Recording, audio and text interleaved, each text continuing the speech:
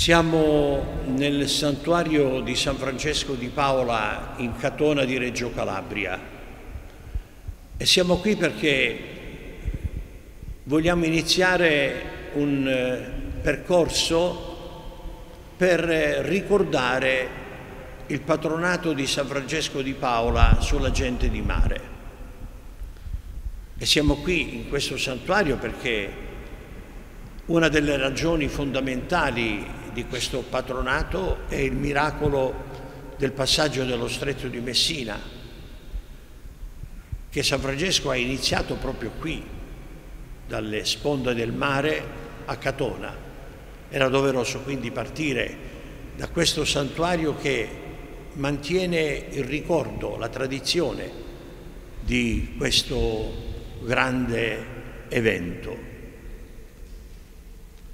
Il patronato di San Francesco di Paola sulla gente di mare italiana è stato voluto dal Papa Pio XII che il 27 marzo 1943, accogliendo le richieste, le preghiere che gli erano state rivolte da più parti in Italia, soprattutto eh, la richiesta principale venne eh, dalla, dal santuario eh, dei marinai a Genova, con gli stessi reali d'Italia, a firmare la petizione che era partita, ripeto, proprio da questo santuario e dalla comunità dei minimi eh, del santuario di San Francesco di Paola. Dicevo quindi, accogliendo le preghiere, dichiarò San Francesco di Paola patrono della gente di mare. E nella bolla di approvazione diede questa ragione per l'istituzione di questo patronato. San Francesco di Paola è stato sempre venerato con profonda devozione dai marittimi italiani, essendo la stessa vita del taumaturgo piena di prodigi compiuti sul mare e spesso in favore dei naviganti i quali, avendolo in seguito invocato, hanno sperimentato la valida protezione dello stesso santo nei loro pericoli. Dicevo queste le parole che ha usato il Papa nella bolla.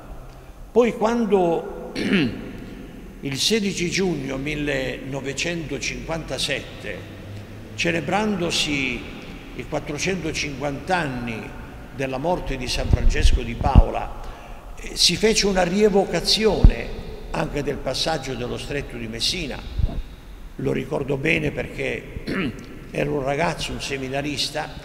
Eh, abbiamo rifatto la traversata del, con le ossa di San Francesco e nella cattedrale di Messina celebrava la messa il cardinale Ottaviani il Papa, mentre eh, ascoltavamo, si celebrava, dopo il Vangelo, in diretta fece un radiomessaggio a tutti i marinai d'Italia. Questo radiomessaggio che fu ascoltato su tutte le navi che erano eh, in navigazione. E in questo radiomessaggio precisò ancora di più le motivazioni. Le leggo. La particolare ammirazione e devozione dei marittimi verso San Francesco di Paola non trae motivo soltanto dall'essere egli nato in una città costiera o per avere più volte attraversato i mari, operando miracoli a vantaggio dei naviganti, bensì dalle eccelse virtù che adornarono la sua vita, alcune delle quali corrispondono mirabilmente all'indole e alle doti naturali della gente di mare. Quindi eh, le motivazioni che porta il Papa si riducono sostanzialmente a due aspetti fondamentali. Il legame tra San Francesco e il mare, per i prodigi compiuti sul mare a favore dei marittimi, e in conseguenza di questo fatto la grande devozione che la gente di mare in Italia e nel mondo ha sempre avuto nei confronti del Santo di Paolo. Ecco, noi adesso vogliamo ripercorrere un po' nel ricordo e eh, dare le testimonianze, riferire le testimonianze che sono state lasciate, le testimonianze storiche su questo prodigio e ricordare poi sul mare qui eh, di Reggio Calabria, ricordare eh, i tanti miracoli che San Francesco ha compiuto a favore dei naviganti, a favore della gente di mare. E iniziamo proprio recandoci al posto dove la tradizione eh, vuole eh, che sia stato il punto esatto dal quale San Francesco sia partito per la traversata prodigiosa dello stretto di Messina. Ecco, noi ci troviamo eh, sul posto eh, dove o da dove, secondo la tradizione, eh, San Francesco sarebbe partito eh, alla volta di Messina, eh, traghettando così senza alcun mezzo, senza alcuna barca, ma traghettando non sappiamo come, poi lo preciserò dopo. Domanda che ci poniamo, che gli storici si pongono, ma è un fatto storico o è un fatto eh, diciamo che è stato inventato un po' dalla tradizione pia devota? Ci sono alcuni che affermano, fanno risalire eh, questa invenzione nel momento, nel tempo di contrasto con eh, i protestanti eh, oppure al tempo della eh, vittoria sui turchi, ma è una, una eh, affermazione fuori di ogni contesto storico perché noi abbiamo una fonte storica alla quale possiamo attingere eh, che questa fonte storica è una testimonianza che ci è stata offerta nel eh, processo calabro, eh, cioè voi sapete che dopo la morte di San Francesco, in previsione della canonizzazione, sono state fatte delle inchieste sulla santità di San Francesco di Paola. A, a Cosenza, in Francia, ad Amiens e anche un'altra in vari territori della Calabria che poi raggruppate assieme eh, formano il cosiddetto processo calabro.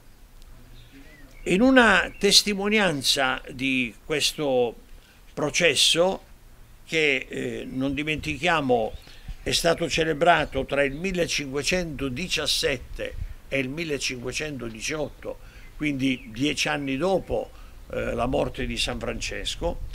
Il teste 9 è che il nobile Pandolfo, barone di Serrata, e il teste 22 che il sacerdote Don Bernardino di Arena, riferiscono su questo episodio, però riferiscono, come si dice, ex cioè loro non sono stati testimoni diretti, ma hanno ascoltato il, eh, il, racconto dai testimoni diretti e poi lo hanno narrato. Io vi leggo la deposizione del teste 22 del sacerdote Don Bernardino di Arena che mh, riferisce su questo miracolo eh, dalla tradizione, dal racconto che gli ha fatto il padre, che è stato uno dei protagonisti di questo prodigio. Don Bernardino di eh, Lovanaro, della zona di Arena, con la mano sul petto, secondo il costume dei chierici, dinanzi alla Sacra Scrittura, ma senza toccarla, ha riferito di sapere da un racconto fattogli una volta da Cola Banaro, suo padre, che essendoci in quell'anno una carestia in Calabria, si dirigeva verso la piana di Terranova insieme a Roberto Remiglio, Luca De Iaca, Giacomo De Gioi, Giulio Cicchetti, Ippolito De, De Stravo, con uno dei suoi fratelli di nome Marco. Giacomo Sacca e Tommaso De Cicco, tutti di Arena, che oggi sono tutti morti. Allontanandosi dal passo Borrello, il giorno primo aprile, sono quasi 37 anni e poco più, capitò che per quel passo si trovasse passando anche il beato Francesco di Paola, il quale appena li ebbe visti chiese che per carità gli donassero un po' di pane. Ma i predetti viandanti risposero che non ne avevano neppure un pezzo. Purtuttavia disse al detto Cola, padre del citato teste, di dargli per carità quanto aveva nella bisaccia. E non di meno le sopraddette persone risposero che non avevano alcun pane. Per cui il beato Francesco disse loro, datemi codeste bisacce, perché lì dentro c'è del pane. E detto Cola diede le bisacce allo stesso beato Francesco e una volta aperte le bisacce trovò pane candidissimo, ancora caldo fumante. Detto Cola, che sapeva di non avere nessun pane, rimase meravigliato, dicendo in cuor suo, costui è santo. E tutti i suoi compagni presero di detto pane, dopo che era stato benedetto dallo stesso beato Francesco, e ne mangiarono. E quanto più mangiavano, tanto più quel pane cresceva e aumentava di numero. E seguendo detto padre, per tre giorni furono alimentate e sostenute le citate nove persone. Ed essendo presso Catona, detto Beato Padre disse ad un tale di nome Pietro Colosa, proprietario di una cimba, cioè di una barca che trasportava in Sicilia legna per costruire tinozze per la salataru del, del pesce, che per carità lo trasportasse a Messina, città della Sicilia. E detto Pietro Colosa gli rispose, pagami monaco ed io ti trasporterò. E detto padre disse, per carità traghettami. E di nuovo ripetutamente detto Pietro, pagami ed io ti trasporterò. E di nuovo detto padre disse, aspettatemi qui.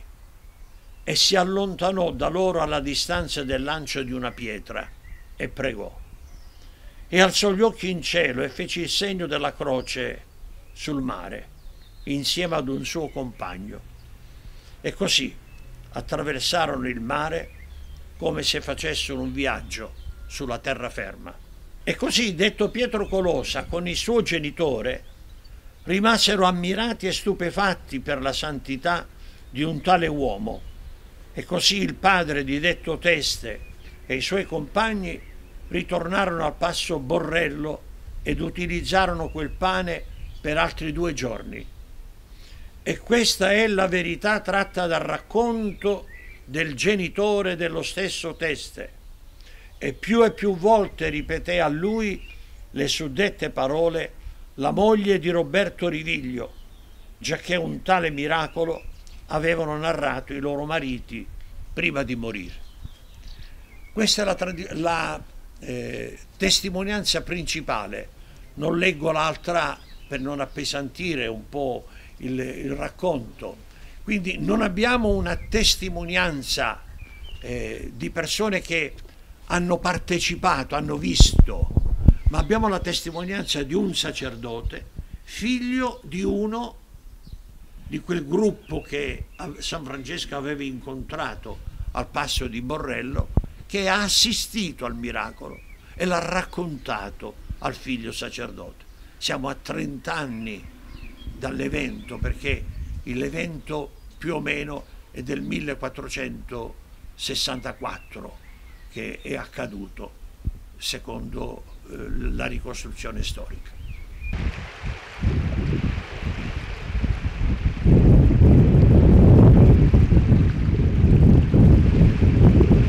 Abbiamo ascoltato eh, il racconto di questo sacerdote di Arena eh, che ha ascoltato il miracolo, il racconto del miracolo dal proprio papà che è stato eh, protagonista, è stato un testimone oculare, lui non è stato testimone oculare, ho detto è un testimone ex auditu, una testimonianza vera, falsa.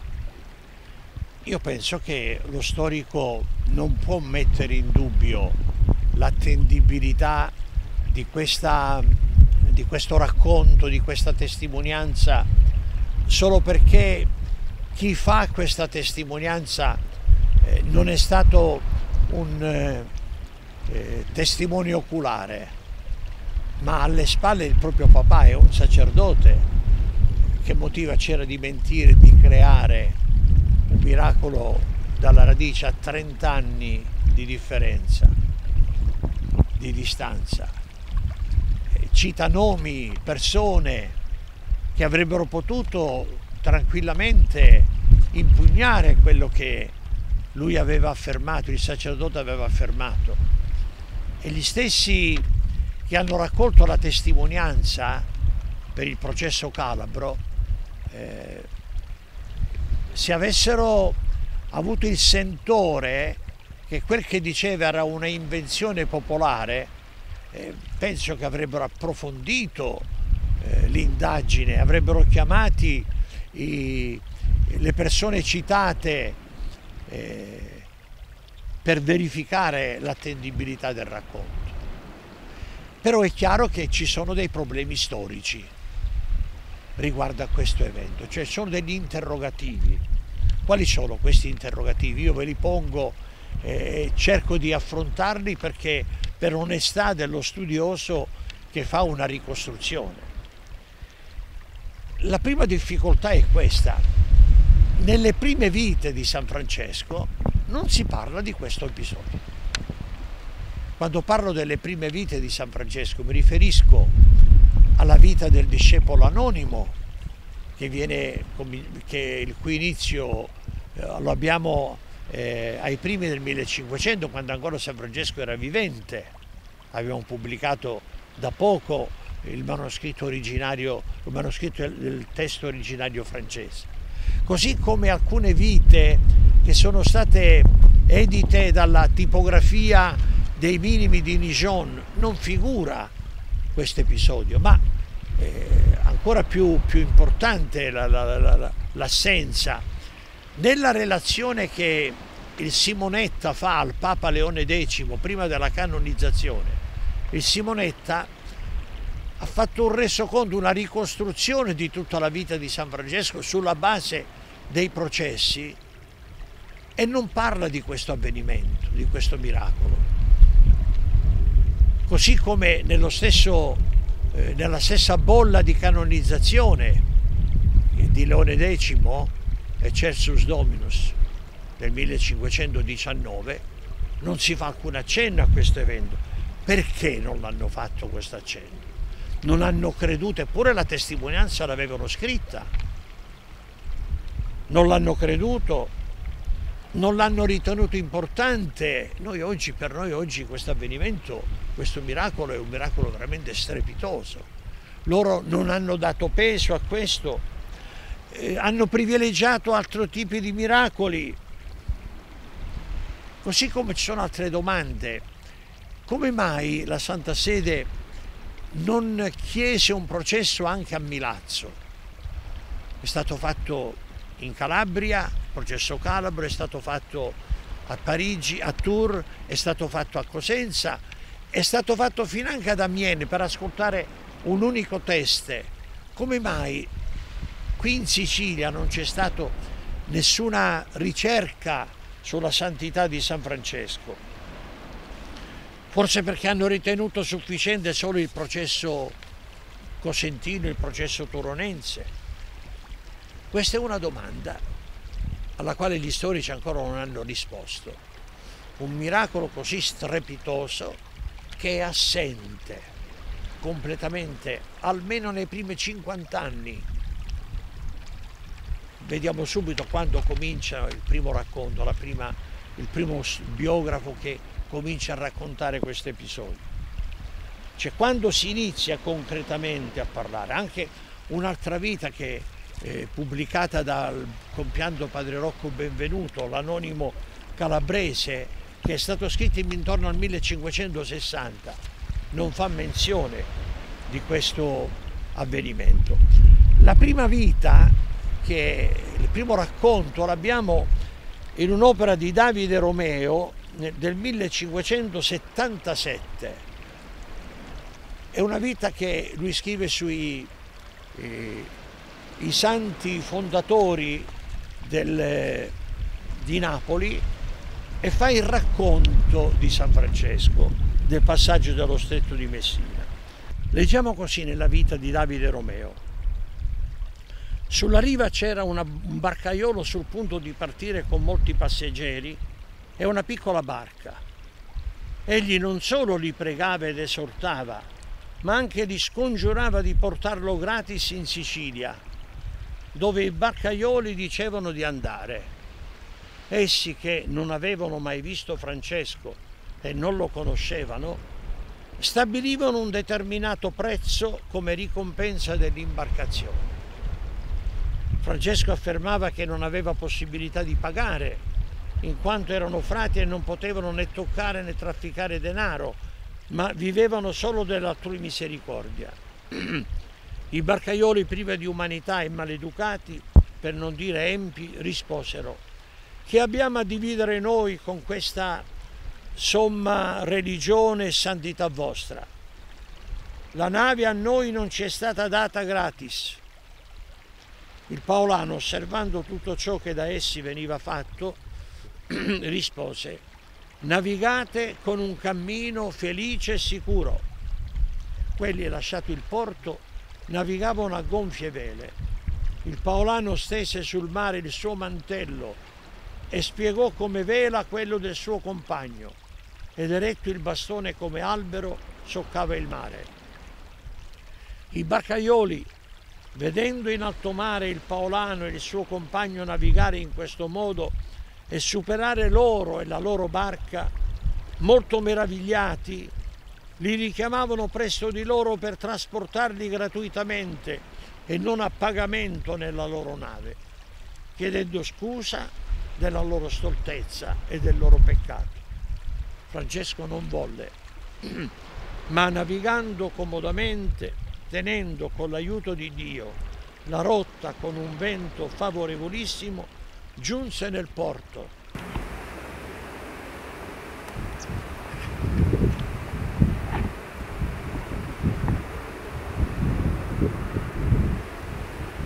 Così come è successo per le vite di San Francesco, eh, per cui abbiamo dovuto aspettare eh, la vita di David Romeo a metà eh, del Cinquecento, dopo la metà del Cinquecento, Così succede per la iconografia.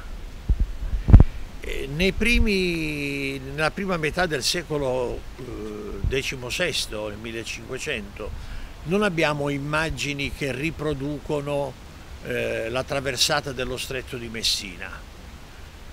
Diciamo che parallelamente a quando eh, le prime vite cominciano a parlare di questo miracolo, almeno fino a, alle ricerche di oggi, parallelamente comincia anche l'iconografia. Una delle prime immagini che abbiamo è quella di Antonino Tempesta, che si trova nella sala delle carte geografiche eh, voluta da Gregorio XIII, siamo nel 1581, questa prima immagine di San Francesco che attraversa lo stretto di Messina. Poi abbiamo un'altra immagine nel chiostro di Trinità dei Monti del Catì su una incisione di Brambilla del 1586.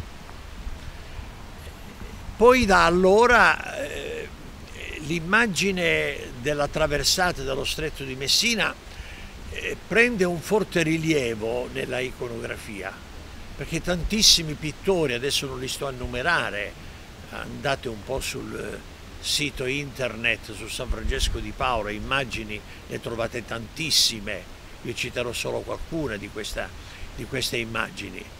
E l'iconografia poi si sbizzarrisce, i pittori, gli incisori, gli scultori si sbizzarriscono sul modo come rappresentare San Francesco. Abbiamo visto che nella testimonianza del sacerdote di Arena non dice come ha attraversato, dice solo che ha attraversato il mare come su, camminando come su terraferma. Non sappiamo, a piedi. Allora i pittori cominciano a descrivere il mantello disteso, eh, un, eh, uno o due frati con lui. Eh, qualcuno descrive anche San Francesco, lo, lo rappresenta, lo raffigura seduto sul mantello suo mentre fa questa eh, traversata. Cito alcuni, se voi nel, sempre nel convento di Trinità dei Monti c'è l'anamorfosi del Megnan, un frate minimo del 600 che eh, raffigura anche San Francesco di Paola, eh, oppure Juan de Espinal del 1700, eh, fino ai moderni di questi pittori che, o scultori. Se voi andate nella eh, chiesa eh, dell'autostrada del Sole a Firenze, eh, una delle raffigurazioni sul portone della chiesa è proprio eh, una scultura del Venturini che rappresenta San Francesco di Paolo che attraverso lo stretto di Messina. Paola, il portale della, della nuova chiesa, è una scultura di Paolo Borghi fino all'ultimissima nella chiesa di Catona, eh, l'avrete visto, lo vedrete proprio in questa eh, eh, diciamo, ricostruzione che stiamo facendo, eh, l'ultimo pittore, una tela che a me è tra le più belle, veramente un giovane pittore di Catanzaro, San Francesco che attraversa lo stretto di Messina. Ecco, l'arte ha dato anche il suo contributo per eh, tenere vivo questo evento, questo miracolo di San Francesco di Paola.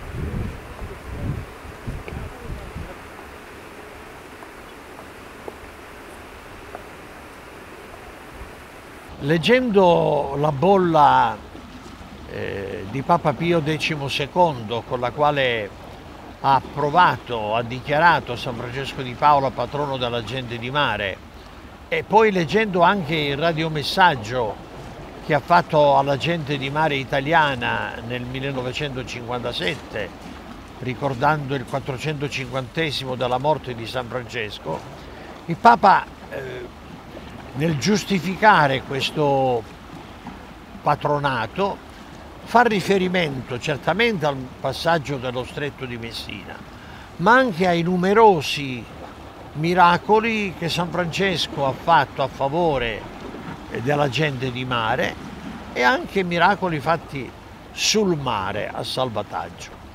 Qui adesso ve ne racconto qualcuno, richiamo alla memoria qualcuno di questi miracoli, no? lasciando poi a voi il gusto di rileggere la vita di San Francesco di Paola e lì trovare eh, tanti altri episodi a supporto di questo patronato.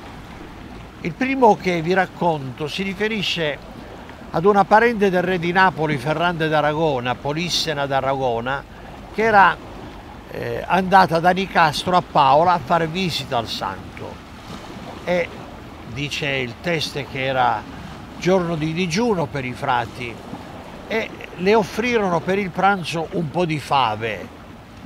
A che il cavaliere che accompagnava eh, la nobildonna si lamentò con i frati come mai offrita a questa signora solo un po' di fave? E nel momento in cui rimproverava i frati che stavano servendo queste fave arriva San Francesco il quale disse momento aspettate un momentino. Scomparve dopo un'oretta circa arrivò portando eh, del pesce freschissimo. Cioè lui era andato al mare aveva preso questo pesce in maniera miracolosa e l'aveva fatto servire poi alla nobildonna e al suo seguito. Un altro miracolo sempre eh, a Paola una comitiva di Nicastro, mandata sempre da questa nobildonna, arrivano a Paola e in maniera un po' con i loro comandanti, in maniera un po' provocatoria, no? Ci vogliamo qua, vogliamo mangiare galline. E comparve San Francesco e disse qui, in questo luogo, non si mangiano galline ma pesci, e alludendo al voto di vita quaresimale per cui i frati minimi non mangiano carne eh, per volere di San Francesco secondo l'antica tradizione della Chiesa. Allora San Francesco per l'occasione invia il ragazzo, il teste dice anche, eh, lo contraddistingue, aveva un berretto rosso sto ragazzo, lo manda al mare, il mare era in tempesta, in un luogo ben preciso gli indica il luogo e dopo un po' di tempo il ragazzo torna con un cestino pieno di pesce freschissimo che viene servito a questa comitiva. un terzo miracolo, eh, la gente di Paola eh, vide una, eh, una, nave che eh, da Lipari era salpata da Lipari e eh, faceva rotta al porto di Paolo. In quel tempo Paolo aveva un porto, certo eh, per eh, eh, non, navi non eccessive, eccessivamente grandi. E quando la barca, eh, si, la nave si affacciò sullo specchio del mare di Paola, una terribile tempesta la stava mettendo in, quasi in pericolo e la gente corre al santuario al luogo dove era San Francesco. San Francesco si affaccia dalla finestra e gridò Gesù, Gesù. Fece un segno di benedizione verso il mare e il mare immediatamente si calmò e la nave poté raggiungere il porto di Paola in maniera tranquilla e serena. Ci sono poi dei miracoli che si riferiscono All'arrivo e alla partenza di San Francesco eh, alle foci del Tevere, sapete San Francesco secondo la tradizione quando andò in Francia partì a piedi, ma quando raggiunse Napoli, da Napoli poi prese la nave e fece sosta a Roma. E la nave il Tevere era navigabile, entrò nella, nel Tevere per arrivare proprio al centro della città, ma sia nell'entrare sia nell'uscire eh, ci sono stati problemi di dislivelli. All'ingresso eh, eh, c'era tempesta e il, la, la nave non riusciva a risalire il Tevere e qui un miracolo un po' strano. San Francesco che con il suo, con il, le, il frate che l'accompagnava, che si butta a mare e trascina eh, la barca eh, verso, gli fa attraversare l'ostacolo fino a farla arrivare nelle acque proprio del Tevere e quindi risalire poi tranquillamente. Nell'uscita invece c'era il problema della sabbia. San Francesco si ritirò a pregare fece misurare due o tre volte, dopo la preghiera disse misurate di nuovo il livello dell'acqua, misurarono e la barca poté uscire tranquillamente. L'ultimo episodio che voglio eh, raccontarvi, ma questo lo leggo direttamente dalla testimonianza, si riferisce sempre al viaggio di San Francesco di Paola verso la Francia e l'arrivo eh, alla, nel Golfo del Leone. Sappiamo che il Golfo del Leone è uno dei punti in cui facilmente il mare è in tempesta. Vi leggo la testimonianza così come riportata nel processo Calabro.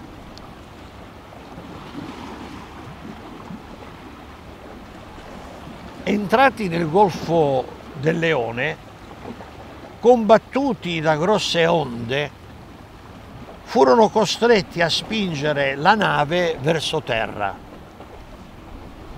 Dopo essersi ormeggiati, ecco un vascello armato veleggiare verso la Trireme. La Trireme era la nave che il re di Napoli aveva messo a disposizione per andare in Francia. Vista la cosa, il Beato Padre disse, riprendiamo a navigare con la pace di Dio. Infatti nessun timore né pericolo ci minaccia. Questo vascello armato era un vascello pirata che si eh, orientava, si dirigeva verso la Trireme per assalirlo. E quindi San Francesco dà l'ordine, riprendiamo a navigare. E mentre il vascello si avvicinava sempre più, anzi aveva sparato già alcuni colpi di bombarda, la Trireme, incontrato un vento favorevole, spiegò le sue vele al vento.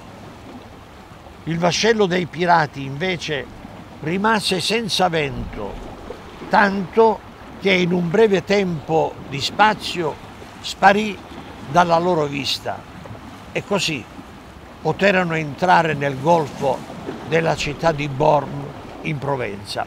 Poi sappiamo che da lì San Francesco si recò a Frejus, dove eh, trovò la città desolata perché c'era una peste in atto. Ecco, lo ricordo questo proprio in questo tempo di eh, pandemia che noi stiamo subendo.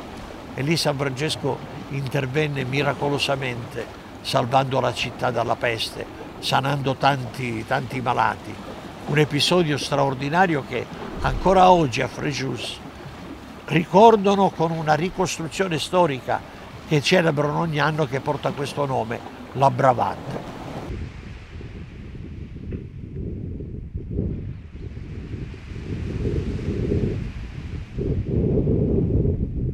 Da questi episodi della vita di San Francesco eh, che vi ho raccontato, in cui abbiamo visto l'intervento straordinario del santo sul mare e sulla gente di mare, è nato immediatamente un senso di fiducia. Già il biografo anonimo contemporaneo, ricordate l'anonimo che comincia a scrivere ai primi del Cinquecento la vita del santo, quando lui era ancora vivente, scrive così, naviganti in punto di naufragare, invocando il nome e accendendo alcune candele benedette da lui, videro abbonacciarsi interamente il mare. Ecco, già questo rilievo eh, fatto ai primi del Cinquecento, prima della canonizzazione di San Francesco, ci sta ad indicare questo rapporto di fiducia che è nato tra la gente di mare e San Francesco di Paola. Quindi una devozione che parte da lontano e che ha visto nelle, in questo eh, uso delle candele benedette ha visto proprio una, un mezzo attraverso il quale San Francesco è intervenuto a favore della gente. Vorrei leggervi alcuni episodi che sono raccontati. Il francese Giovanni Basteino, comandante della nave, la Maddalena, durante una navigazione nelle acque prospicenti Roma, venne a trovarsi in grave pericolo disperando di raggiungere il porto, si raccomandò umilmente, come meglio poté, al Signore e al detto defunto, cioè San Francesco di Paola, e gettò in mare la candela di cera che San Francesco gli aveva dato in ricordo quando era ancora in vita. E la tempesta subito cessò ed egli uscì incolume dal pericolo. Un altro episodio è del 1596. Domenico Capello, capitano di nave di Messina, qui siamo proprio eh, un episodio de, dei nostri luoghi, eh, dovendo traghettare dal porto di Catona verso que- quello della sua città, salpò con la moglie. Il figlio di cinque anni assieme ad altri marinai e passeggeri era con lui. Quando la nave era già in mezzo al mare fu avvolta improvvisamente dalla tempesta e si rovesciò. Perirono circa 11 persone. Il capitano esperto nuotatore raggiunse la chiglia della nave che emergeva dall'acqua e da lì, mentre cercava di vedere dove fosse il figlio e la moglie, invocando nello stesso tempo San Francesco di Paola, vide il bambino che galleggiava sulle onde lontano dal mare lontano dalla nave. Anche se lo credeva ormai morto, vinto tuttavia dall'amore paterno, si gettò nuovamente in mare e, meraviglia, il bambino dormiva con il corpo dolcemente disteso sulle onde e ritornò tra le braccia del padre, che nuotava verso la chiglia della nave emergente dal mare. Dopo essere giunti miracolosamente a riva, il padre chiese al bambino, appena si fu svegliato dal sonno, cosa sapesse del capovolgimento della nave perché non fosse stato sommerso. Il bambino rispose di non ricordare niente, se non che era stato preso tra le braccia da un certo frate vecchio, simile a San Francesco di Paola, che egli riconobbe nella sua immagine. Ora la visione di un frate anziano dal vivo nel sogno ritorna ripetutamente nei miracoli attribuiti lungo i secoli dai devoti a San Francesco di Paola. Ecco, sono due episodi che eh, ci ricordano, ci attestano questa devozione eh, della gente verso il santo e gli interventi straordinari da parte di San Francesco. Ora chiediamoci di che cosa fosse sostanziata questa fiducia nei confronti di San Francesco. Adesso faccio una lettura io eh, degli, eh, come dire, degli avvenimenti che ho letto quando San Francesco salpò da Catona e attraversò, e attraversò eh, sulle onde lo stretto, il testimone disse che benedisse il mare. Ecco, in questa benedizione fatta sul mare, che i marinai, la gente di mare, hanno visto la speranza dell'intervento di Dio, della protezione di Dio, della provvidenza di Dio su di loro attraverso l'intercessione di San Francesco di Paola. Il fatto poi di, del santo che, eh, come dire, durante la sua vita il popolo ha sentito sempre vicino, che durante la sua vita ha saputo interpretare le ansie del popolo più semplice, più povero, che si rivolgeva a lui. Ha fatto sì che San Francesco fosse ritenuto dai marinai uno di loro, un marinaio come loro. E non dico questa espressione così in maniera superficiale, come se la fossi, me la fossi inventata io. A Taranto c'è eh, un ingrandimento fotografico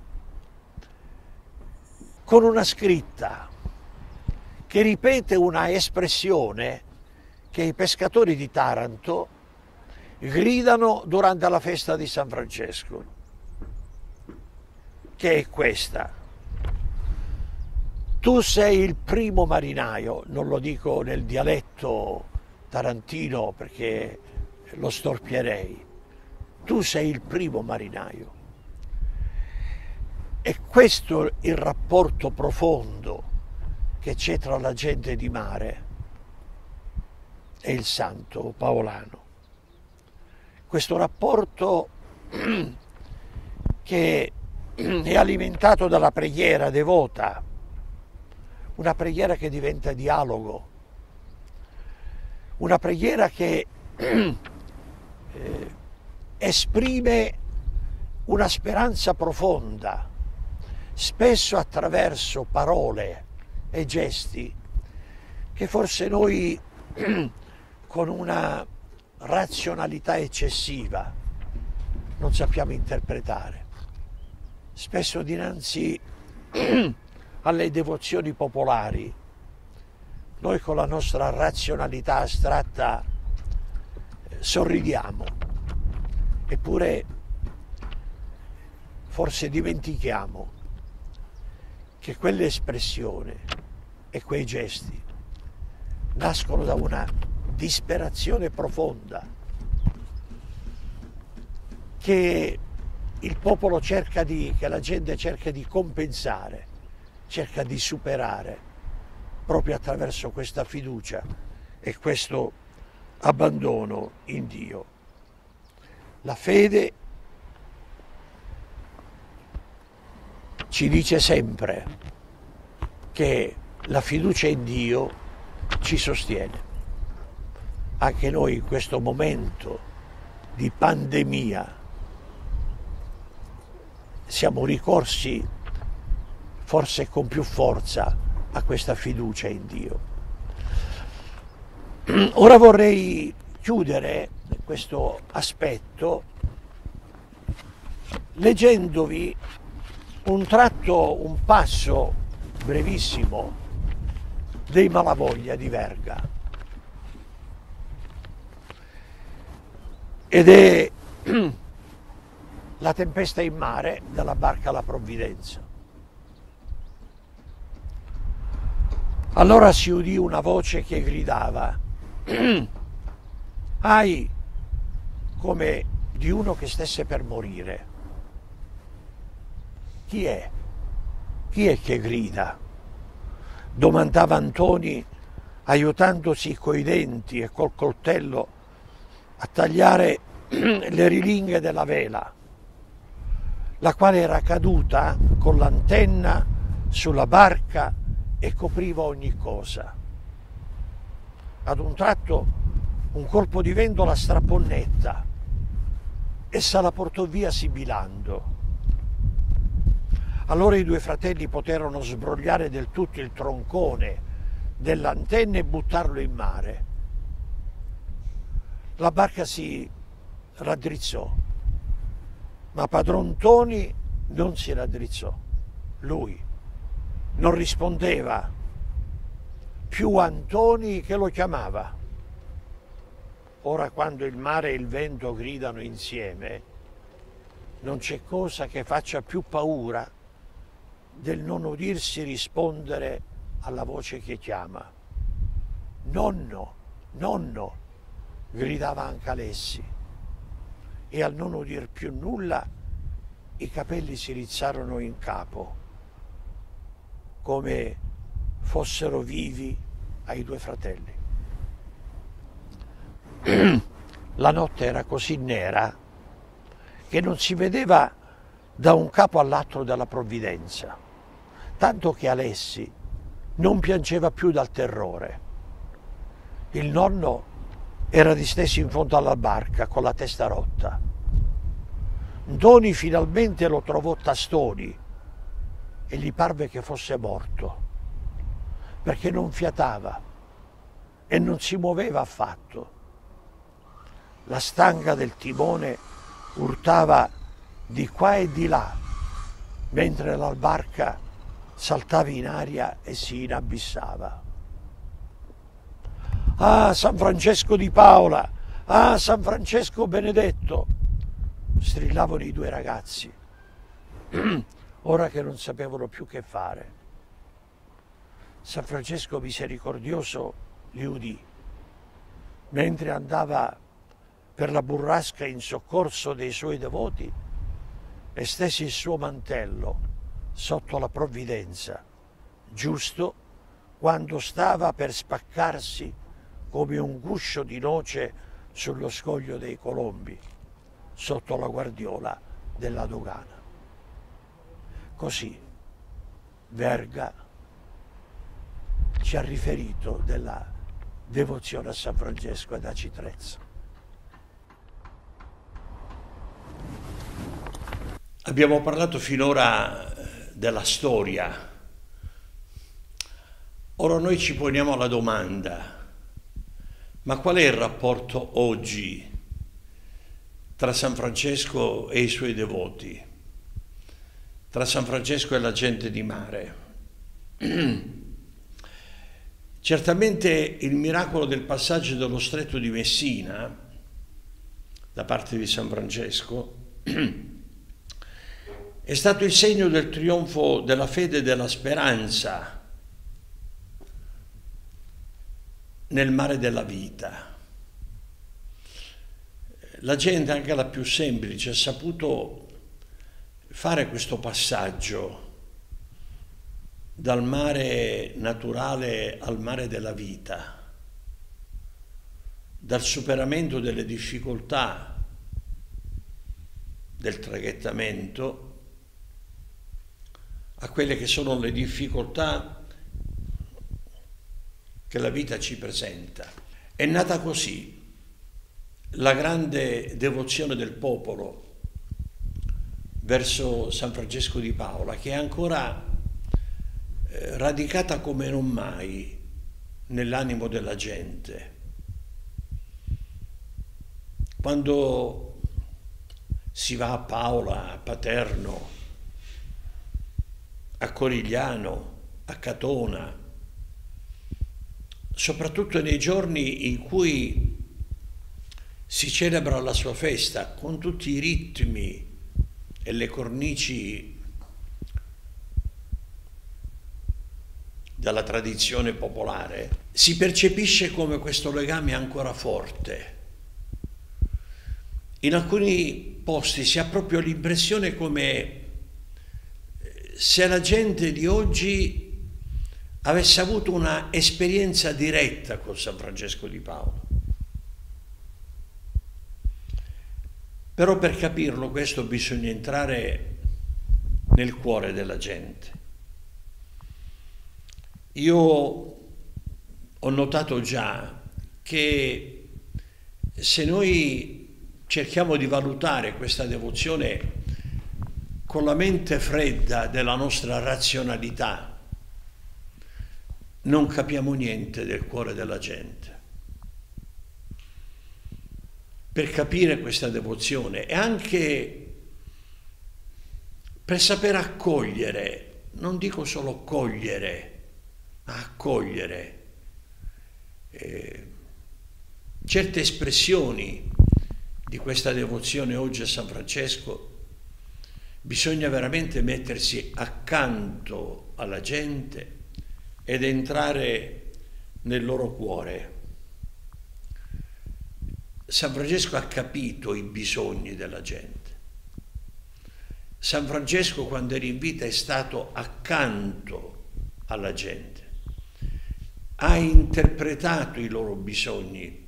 Fondamentalmente, al di là dei miracoli che sono accaduti, quello che si è trasmesso alla gente lungo la storia, si, eh, si è trasmesso il racconto dei prodigi, ma fondamentalmente quel che noi oggi abbiamo accolto di questa storia è stato proprio il legame profondo che San Francesco ha saputo instaurare con la gente. Ecco perché noi oggi lo sentiamo vicino come se fosse uno di noi. E voglio raccontarvi un altro episodio che mi sono riservato proprio per questa parte del, di questa ricostruzione. A Paola c'era un personaggio, un certo Pietro Barba, un episodio raccontato nel processo cosentino, che aveva comprato l'unica tonnara che era presente a Paola, impiegando tutto il suo capitale. investendo tutto ciò che aveva. E dopo aver fatto questa operazione economica, per un mese intero non era riuscito a prendere un solo tonno. La disperazione. Era piombato nell'angoscia più crudele, più terribile, un orizzonte di vita che si era chiuso completamente, un fallimento totale. L'unica speranza qual era? Fra Francesco di Paolo, il frate, amico della gente, e manda da lui a supplicarlo, prega Dio perché mi aiuti, se no sono finito da tutti i punti di vista. E San Francesco ha saputo accogliere questa, questo grido, questo allarme, uno dei tanti che lui ha raccolto nella vita, e consegna a chi era venuto a parlare una candela benedetta e dice portatela con voi quando andrete a pescare la prossima volta. Cose che hanno fatto e il miracolo, il prodigio, eh, pescarono una gran quantità di tonni e da quel periodo in poi eh, hanno potuto pescare sempre bene. Ecco, dai bisogni materiali noi passiamo a quelli che la vita ci presenta al di là eh, di queste necessità più immediate. Il mare è stato sempre espressione della vita. Noi spesso diciamo il mare della vita, per intendere e per significare quelle che sono eh, le difficoltà che noi attraversiamo. E su questo mare simbolico siamo tutti marinai, siamo tutti naviganti, siamo tutti alla ricerca della rotta giusta per eh, non fallire nella vita. Ed è qui la devozione a San Francesco. Ed è qui il bisogno nostro di chiedere aiuto. Il Papa Pio XII diceva è giusto che la gente di mare stimi in alto grado le virtù di questo santo, poiché essa stessa è portata naturalmente alla semplicità e alla modestia. Vive quasi di continuo fra le austerità e le durezze del lavoro e si comporta con coraggio nei pericoli ed è dedita al servizio del prossimo. ecco, eh, un brevissimo riassunto di quel che Pio XII leggeva nella esperienza di vita del fondatore, che io adesso voglio eh, dire trattare brevemente. Noi che oggi stiamo vivendo questa esperienza drammatica della pandemia e so quante persone si sono rivolte a San Francesco di Paola ricordando quell'intervento straordinario che lui fece a Frejus appena arrivò, che liberò dalla peste. In quanti non lo abbiamo invocato in questi giorni e gli abbiamo detto come hai liberato, come la tua preghiera è stata efficace per salvare quella gente dalla peste, fai in modo che anche noi possiamo essere liberati da questa pandemia del coronavirus. Però questa esperienza che stiamo vivendo, come tutte le esperienze drammatiche della vita, lasciano sempre un segno. un segno che non è solo un segno di dolore per quel che abbiamo attraversato, ma un segno anche perché ci spingono ad un ripensamento della nostra vita. Io credo che anche questa pandemia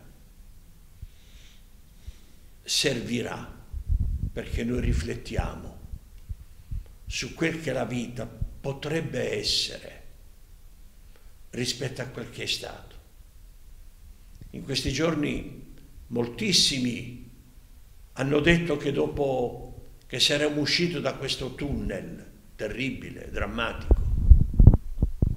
28.000 morti quasi solamente in Italia, sono un problema serio, un dramma serio. E tutti hanno detto che dopo questa esperienza negativa la vita dovrà essere diversa. Allora io con semplicità come un umile figlio di San Francesco di Paola, come un umile vescovo della Chiesa Cattolica, dico cosa possiamo imparare da San Francesco noi imbarcati su questo mare della vita. Noi, gente di mare, del mare così tragico che è quello della vita, cosa possiamo imparare da lui? Allora, seguendo le indicazioni di Papa Pio XII, dico che la prima grande cosa che possiamo imparare da lui è la dimensione contemplativa. Cosa intendo dire per dimensione contemplativa? San Francesco porta sempre con sé quel caritas, che è stata una, eh, come dire, eh, trovata geniale da parte dell'arte, legandosi alla storia di San Francesco, una trovata geniale per raffigurarlo. Ma lui con quel caritas ha sempre indicato quella dimensione ultraterrena che noi non possiamo dimenticare.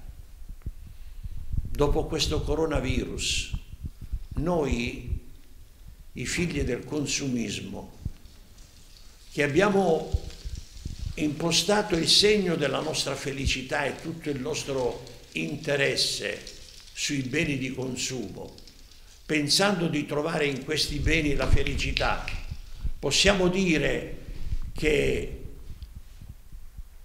possiamo, la, la vita può essere costruita solo legandola alla dimensione terrena? O non dobbiamo forse cominciare a pensare che c'è una dimensione ultraterrena con la quale dobbiamo fare i conti? Non dimentichiamo che San Francesco non è stato solo il grande uomo che ha interpretato i bisogni del popolo, ma è stato anche l'uomo di Dio che ha saputo indicare alla gente, a tutti, quella strada che ci porta alla comunione con il Signore. E il secondo elemento che dobbiamo imparare dalla gente di mare, da San Francesco stesso, è che noi naviganti su questo mare della vita non possiamo realizzare il bene se pensiamo di togliere il legame tra bene e fatica, tra bene e sacrificio. Quando si scindono questi due termini, bene e sacrificio, si cade nella violenza, si cade nella sopraffazione, si cade nella corruzione chi è il corrotto? Il corrotto è colui il quale cerca di trarre profitto di un bene che dovrebbe essere degli altri. Chi è il violento? È colui il quale vuole trarre il bene solo per sé, imponendo agli altri delle condizioni impossibili. E noi ne sappiamo qualcosa in questa nostra società con questa violenza organizzata che pur di raggiungere i propri obiettivi non ha scrupoli di creare paura e terrore negli altri. Ma pensiamo anche alla droga. Chi spaccia droga costruisce, vuole costruire il proprio interesse sulla fragilità e la debolezza degli altri. L'altro elemento che noi vogliamo considerare è la fragilità. Il mare è sempre espressione di una esposizione maggiore a quelli che sono i pericoli insiti nel sacrificio, nel lavoro, nelle difficoltà che l'impegno presenta. Se in ogni settore eh, lavorativo c'è il sacrificio, però è chiaro che chi lavora sul mare, che il marittimo che solca i mari, che i pescatori che affrontano il mare di notte di giorno, sanno che oltre alla fatica del valore c'è anche tante volte la lotta con le intemperie e con il male che aumenta la fatica. E allora la fragilità che noi dobbiamo considerare nella, eh, nel cammino della vita nel voler fare il bene, nel voler realizzare il bene, dobbiamo essere consapevoli che siamo fragili, che siamo esposti in ogni modo agli errori, alle difficoltà e allora, e allora avere l'umiltà di piegare il capo davanti a Dio, avere l'umiltà di saper pregare di chiedere aiuto, non essere troppo sicuri di se stessi.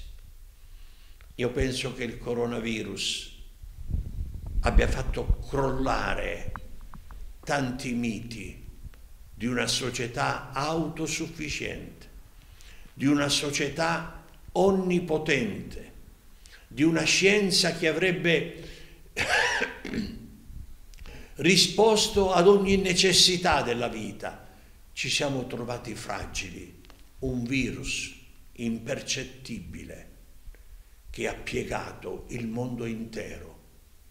Il mondo intero è cambiato dal punto di vista economico, dal punto di vista politico, dal punto di vista sociale, dal punto di vista delle relazioni, è cambiato profondamente. È bastato qualcosa di insignificante di fronte al quale oggi la medicina ha alzato le mani, anche la scienza ha alzato le mani. Forse in seguito lo sconfiggerà, ma intanto per ora abbiamo dovuto pagare lo scotto di morti, di morti infinite. Abbiamo dovuto pagare lo scotto di una eh, rivoluzione totale nei nostri costumi, nei nostri modi di vivere. E allora a San Francesco noi chiediamo proprio di sentirci minimi, piccoli come Lui, confidando nel Signore e sapendo di trovare sempre nel Signore come Lui ci ha sempre insegnato, il Padre di misericordia che ci accoglie. Un'espressione bellissima di San Francesco era, è stata proprio questa riconciliatevi con Dio perché Dio vi aspetta a braccia aperte. E l'ultimo eh, valore che il Papa ci ha indicato, Pio XII ci ha indicato, è stato quello della solidarietà. Il mare è segno di vita solidale. Si può uscire a pescare per sport, e uno può farlo individualmente, ma quando si esce per pescare per lavoro, o si sta assieme, o si va a pescare assieme, o si sa che si cede di fronte alle difficoltà che questo mestiere presenta. E allora imparare questa grande lezione della solidarietà in questo tempo di coronavirus si sono spesi gli entusiasmi, le lodi nei confronti proprio di questo segno di solidarietà che il mondo intero ha dimostrato. Persone che volontariamente, medici che volontariamente, infermieri che volontariamente sono entrati negli ospedali a venire per aiutare e sappiamo che quanti diversi, oltre 150 medici, molti di loro volontari, hanno lasciato la vita per questo gesto di solidarietà. E allora imparare questa grande lezione. Nella vita dobbiamo riscoprire questo grande valore dello stare assieme. Oggi il coronavirus ci ha separati, ha rotto un po' le relazioni, dobbiamo stare distanti l'uno dagli altri, indossare mascherine, non poterci muovere, stare chiusi in casa e stiamo scoprendo quanto era bello invece vivere le relazioni con libertà. Questa difficoltà ci auguriamo abbia educato ciascuno di noi a riscoprire questo grande valore necessario per ripartire e riprendere la vita in una eh, maniera eh, più degna dell'uomo, più degna di quella immagine di Dio che l'uomo porta sul suo volto.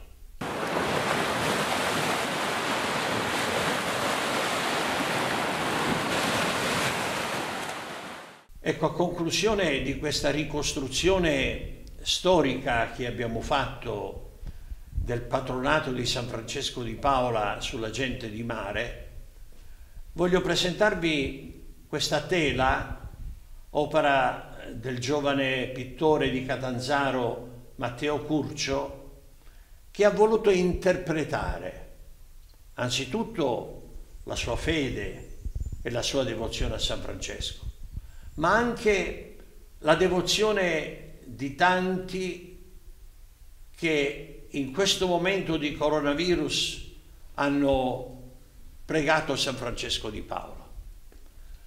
L'artista ha voluto eh, raffigurarci San Francesco con il bastone in mano, segno di questo suo andare eh, pellegrinante per le strade della Calabria, dell'Italia e della Francia, portando sempre un, il crocifisso. Noi sappiamo che la tradizione ci dice che lui sul bastone portava un crocifisso che oggi si custodisce gelosamente a Corigliano Calabro. E San Francesco quando arrivò a Frejus, l'ho accennato anche poco fa, spiegando, eh, quando abbiamo parlato del miracolo nel Golfo di Leone, del Leone, quando arrivò a Frejus trovò la città appestata. Ecco, qui sul quadro l'immagine eh, di questi uomini appestati è San Francesco con la potenza della croce che salva Frejus da quell'epidemia terribile. Dall'altro lato abbiamo l'epidemia di oggi, il coronavirus. Qui abbiamo la rappresentazione, vedete, in una maniera veramente drammatica, veramente incisiva. Eh, che manifesta le doti di questo giovane pittore. Sembrano fotografie, non sembrano pitture.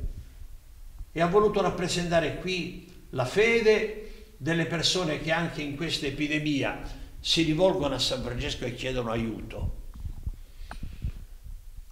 Ecco, la fede che continua nei momenti del bisogno. Questa nostra epidemia, questa coronavirus che ci sta facendo sentire, come ho detto poc'anzi, fragili, deboli, soli, in solitudine, su questo mare burrascoso che stiamo navigando tutti insieme. Ci auguriamo che San Francesco ci faccia riscoprire, faccia riscoprire a tutti quei valori che lui ci ha insegnato, la fede e la fiducia in Dio, nell'affrontare la navigazione della vita, ma ci faccia scoprire altresì il valore della solidarietà umana, perché da soli si perde sempre, quando invece si è uniti nel nome della carità, allora certamente le difficoltà della vita possono essere combattute e possono essere vinte. Amen. San Francesco di Paola, patrono della gente di mare, prega per noi.